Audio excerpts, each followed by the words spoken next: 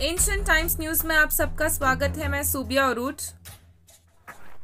lockdown के कठिन समय से गुजरकर वापस अपनी ज़िंदगी जीने और काम पर जाने के लिए निकलने वाले लोगों पर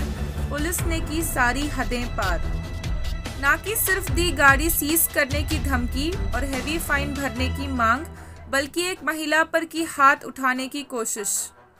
जैसा कि आप इस वीडियो में देख सकते हैं जो शिवाजी नगर बस स्टॉप के पास हुई ये घटना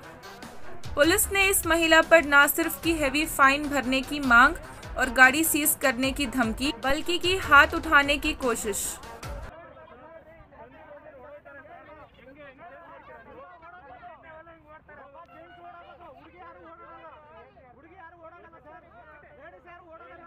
ಹುಡುಗ ಓಡೋಗೋದು ಹುಡುಗಿ ಯಾರು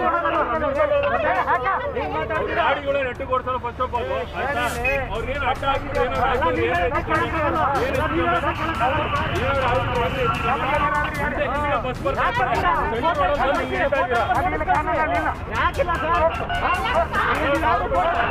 ಹೇಳ್ತಾ ಇದ್ದೀರಾ ಯಾಕಿಲ್ಲ ಸರ್ ಕೆಲಸ ಅದು ಕಾನ್ಸ್ಟೇಬಲ್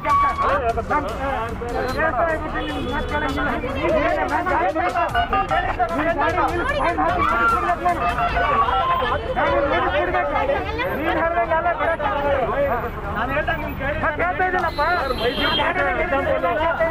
ಕೇಸ ಎಕ್ಸಾಂಪಲ್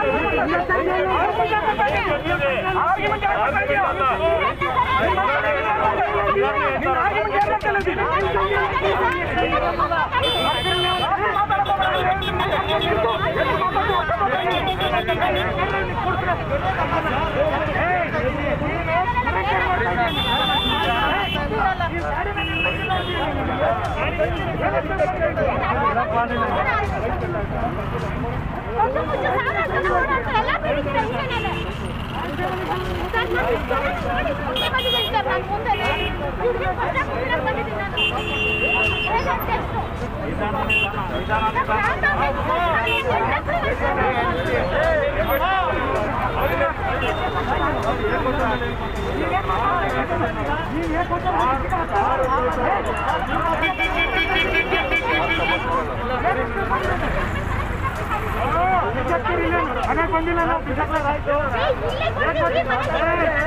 ಮಾತಾಡ್ಬೇಡ ನೀನು ನೀನು ಮಾತಾಡ ಮಾತಾಡ ಏನಂತ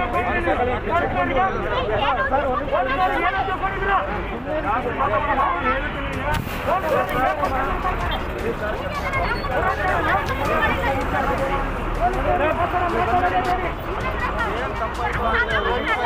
ಮಾತಾಡ